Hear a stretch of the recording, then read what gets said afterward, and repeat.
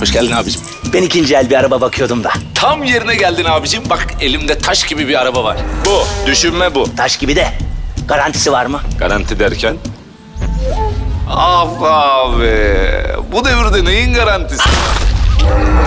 Yarının yok ki be abi. İkinci elde devir değişti. Alacağınız ikinci el otomobile iki yıla kadar garanti Otoshops'ta. Yepyeni ikinci el deneyimi Otoshops. Otoshops.